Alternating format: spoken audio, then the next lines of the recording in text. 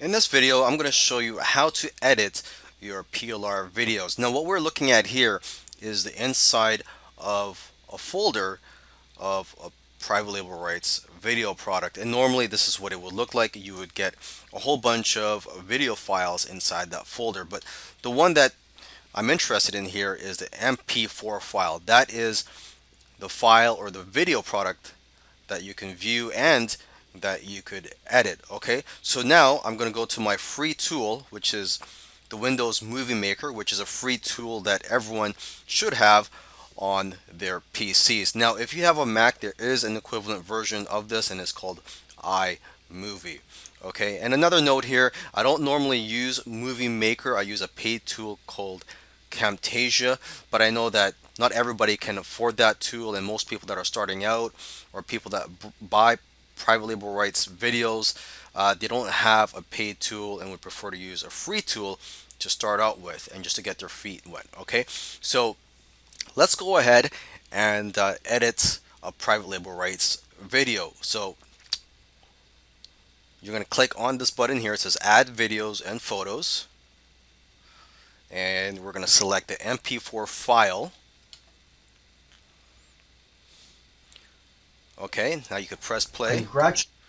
Okay, and I'm just going to go back here. Now there are various ways to to change this video and rebrand it. I suggest you play around with this tool, um, but let's just go through the basic stuff in this video. Okay, you could add a title screen and press play here, and this is what it'll look like. You could also change the appearance of that by selecting any of these. So for example, you could do this if you want it to look fancy. You could also change the text here just by clicking on it.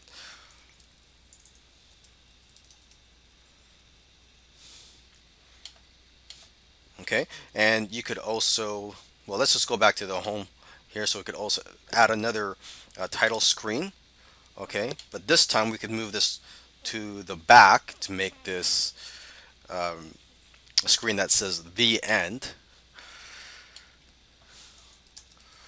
Okay, so you could do that and again you could change up the screen here. You could uh, edit the start time of it, the check the text duration on that slide. So there are a lot of things you could do here. Now let's go back to home. Uh, you could also add a credit screen and this is what it would look like. Okay, and you could edit that if you like. Uh, let's see, let's go to animation. So Congratulations. Okay. So there you go. So it, it, changes the way the screen appears when you select these uh, animation screens here. Okay, visual effects. Um, you could also add music if you like. You could record a narration. So for example, on the first slide here, there's no voice on there. You could add your own voice there if you like. Okay, so when you're happy with uh, the video that you've edited, you would just save the file. You could just save save project.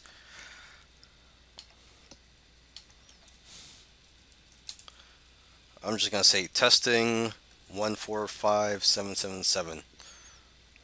Okay.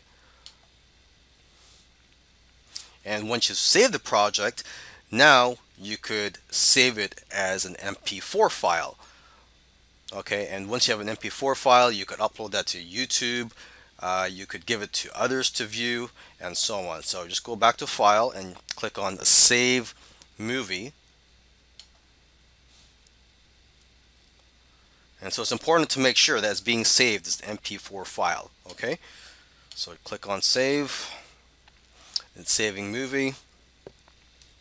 And there so it is now complete. You could either press play uh, to see how it looks, open folder, or close.